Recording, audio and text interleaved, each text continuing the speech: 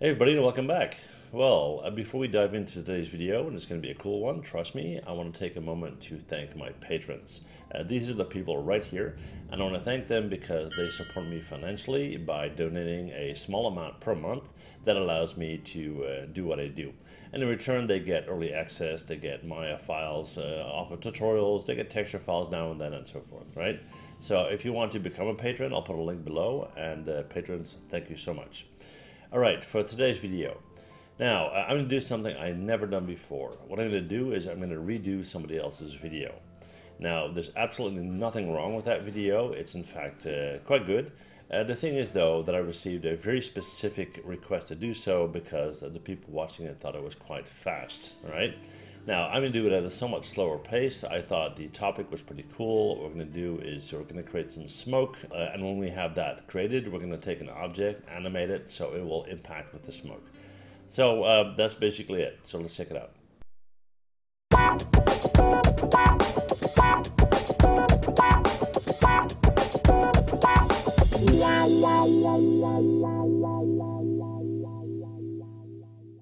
This video has been made possible by Luxion, the creators of Keyshot. Alright guys, so let's get started with our video. So uh, we're going to create some smoke. For that we need to have a 3D fluid emitter. So where do we get that? Let me just uh, shut down my attribute editor window here. We're going to go up to the FX menu, so select this drop down, go to FX, we're going to go up to fluids, we're going to go to 3D container. We're going to select that. That will give us this base box right here with an emitter in the middle. Now we want the box to be sitting on the grid line, so we're going to jump to this view right here, and we're going to right, uh, we're going to go to hit W to move, and we're going to move that up like this. Now there's an emitter in the middle right here, and I want to move that down to the base, uh, not the box, just the emitter. And if you have trouble selecting that, what you can do is go into your outliner, we're going to open up Fluid. We're going to look for the emitter, select it, and just hit W and push that down like this. All right. Now let's just have a quick look and see if everything is working correctly. So the box is on the grid, the emitter is lowered, looks okay. We're going to go in here and we're going to set our animation slider to let's say 400 frames, that should be about right. And let's hit play to see what we get. As you can see, it's starting to generate smoke. It's uh, quite rough uh, due to the base resolution of the bottom of the box grid, but we can change that in a sec. But as you can see, it's uh, creating smoke nicely. So we're going to hit this guy to jump back to frame one. I'm going to select my box. I'm going to hit Control A to go back in. And the base resolution right now, it says that it's at 10. Let's go in there and select 80 and hit Enter. As you can see, the density of the bottom of the box goes uh, up quite a bit. We're going to jump back to frame one again. We're going to hit play once more. And again, we're having smoke. The smoke uh, is now um, is looking much better right now. And as you can see, it's responding nicely. So we're all good. So let's hit stop, jump back to frame one. And the next thing we need to do is create our object that's going to collide with our uh, smoke, all right? So let's go in and you don't necessarily have to, but we'll go into the modeling here. We'll take a sphere and I'm just going to hit W, pull that up and pull that out like so. So that's going to go through the path of our smoke. Now we want to make sure that once this sphere goes through the smoke, the smoke is actually at that height already.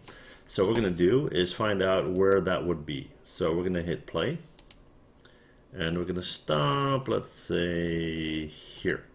So if I start to move my sphere at this point, I'm sure that I'll have smoke to go through, right? So we're at a frame, let's say 103 right now, and we need to move it also, but let's say somewhere around 100, okay? So what we're going to do is we're going to select our sphere, we're going to drag to frame uh, 1, we're going to S to keyframe that, so that's our starting point, right? Then we're going to go to, let's say, frame 100, that'd be okay. Let S to keyframe that again, just in case at some point we want to move something in between. And then from there, what we're going to do is we're going to scrub to, let's say, frame, uh, I don't know, let's do 180, right? And at frame 180, we well, let's do 200. We'll do 200.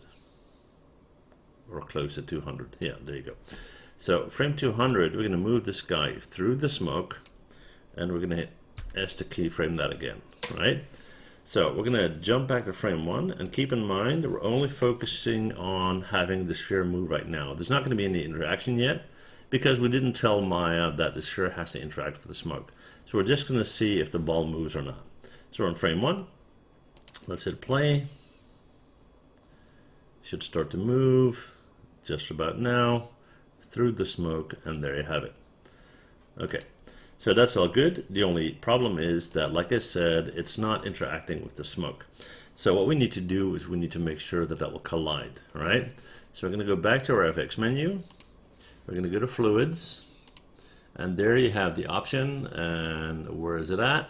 Uh, let's see, make collide. So what we're going to do is we're going to select this guy.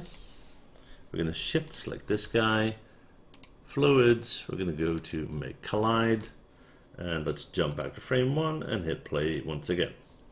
Smoke is coming up, ball is starting to move, and as we do that, there you have it. You can see that the smoke responds. Now, just to make that a little bit more obvious, what we're going to do here is take our sphere, we're going to scrub through, so it's moving, stopping right there at about 200. And what we're going to do is we're going to scrub to, let's say, 225. Move it through again. S to keyframe that. Scrub it to, let's say, somewhere around 257. Move it over. S to keyframe that. And we'll do that one more time. Let's move it back here. Oops, sorry. Let's scrub the frame to about here move this through and hit S one more time. Okay, we're going to jump to frame one, and now you should very clearly see the interaction. Okay, ready? Here we go. Smoke coming up, ball starting to move. We got interaction, as you can clearly see. Ball's coming back and back, and there you have it. So that's all there's to it, guys. Uh, hopefully this uh, is what is needed to understand this properly. Like I said, nothing wrong with the original video. Just try to do this at a slightly slower pace for those of you who are new to this kind of stuff, okay? If you get any requests uh, for, uh, you know, dynamic stuff, let me know in the comments. And uh, that said, thank you guys for watching. If you don't want to miss out on future videos, make sure you hit that subscribe button and see you guys next time. Bye. Well, thanks for watching. And before you go, please hit that MH button to subscribe, okay? See you guys next time. Bye.